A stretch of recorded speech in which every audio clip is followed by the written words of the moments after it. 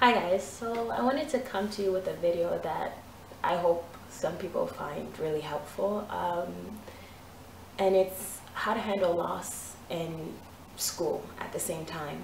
Recently, I just lost my aunt to cancer and I thought that I could handle it. You know, I thought that I could juggle my emotional mind state and school at the same time.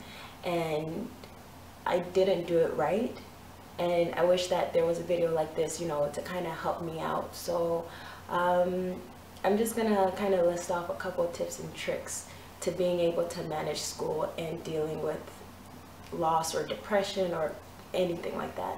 So um, the first thing would have to be that notify your professors about what's going on. Now I know that might be embarrassing and I know that might be something that you just don't want to do because that's exactly how I felt where I was just like, um, I don't need them to be in my personal business. I'll just figure it out. I'll handle everything.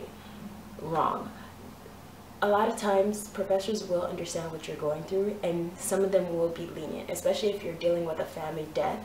And some of them can extend assignments or even defer certain assignments and it is really helpful because it is your education you know what i mean? Like you do pay for it so anything that you can do to help you so that you can still stay on track you should do.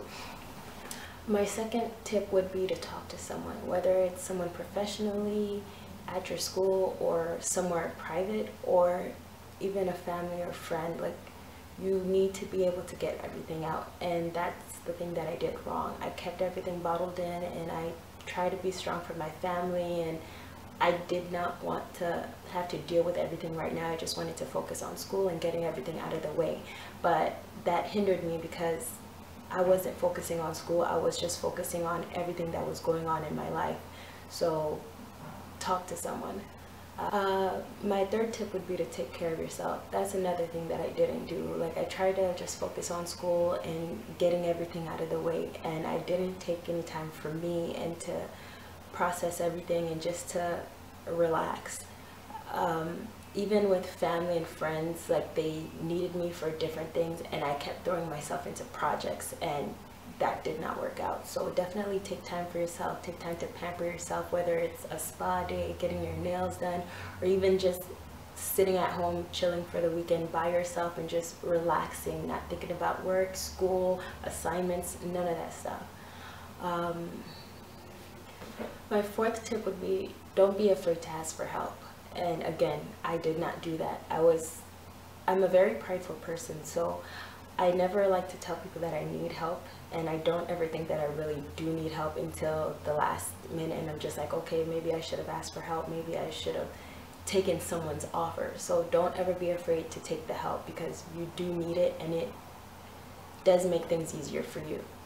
Um, and the fifth tip would be don't be afraid to tell people you need to be left alone. Like sometimes I know for me personally I like to help everyone else and I'm always trying to do things for everyone else and I can never tell people no.